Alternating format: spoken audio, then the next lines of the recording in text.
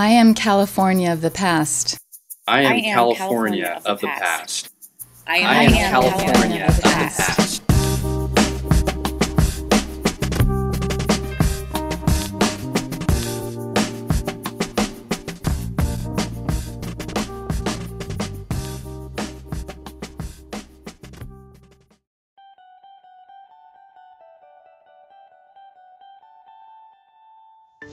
When I came to Alameda, I was amazed when I found myself in a neighborhood where people like Jack London, Robert Louis Stevenson, and Phyllis Diller had lived and where people knew all about them.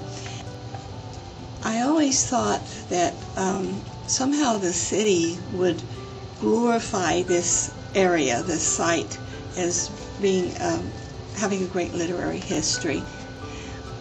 This history impressed me greatly that this was sort of a wellspring of, of genius. I arrived here right after the birth of my fourth child, and before my fifth child, Alice was born. My husband was at sea, and all the neighbors rallied around. But meanwhile, just the practicalities of living in a housing project among other women who were here from other countries, who many who didn't even speak that language. Uh, all of this was pretty overwhelming.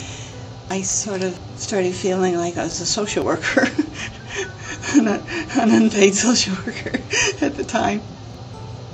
My son, who was seven, began running around the neighborhood in the park and playing, but the neighbors said, no, no, don't let your children go to the park because the park is undeveloped.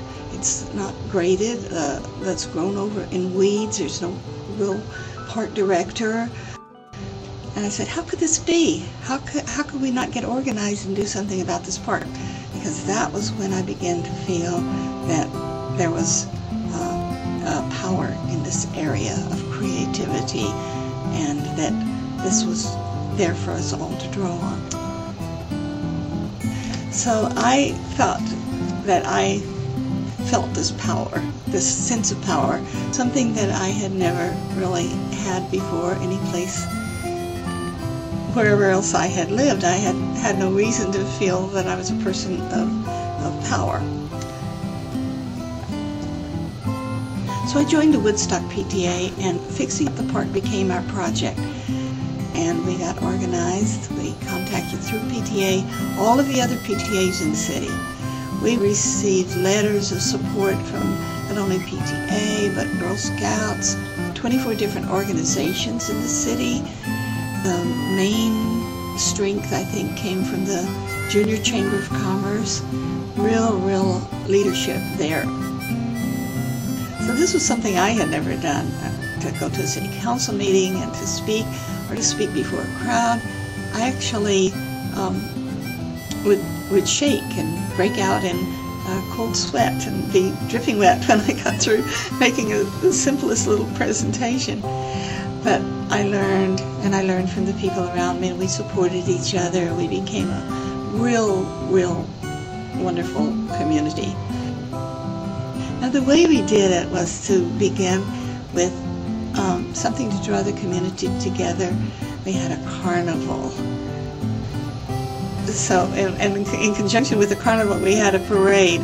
So we wrote to the military, we wrote to other people, we wrote to the scouts. We could be part of this parade and this carnival. Navy lent us uh, two different marching bands. They lent us a beautiful float. They lent us stages because these were their dependents. These were the children of people who had devoted their life to the military, had left their families here while they were at sea, and so the commander wrote letters of support. He actually showed up. All of the people uh, that we contacted showed up. The mayor, the people from city council. Everybody said yes. Nobody said no. We raised $900, well, 51 years ago. That was a lot of money. and uh, to think that it came out of the, maybe the most economically disadvantaged neighborhood and people.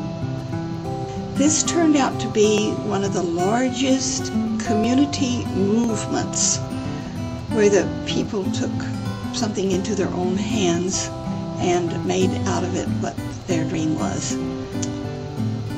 Not only were we successful in getting the park developed, but we got a recreation building, full-time director, and a lot of activities.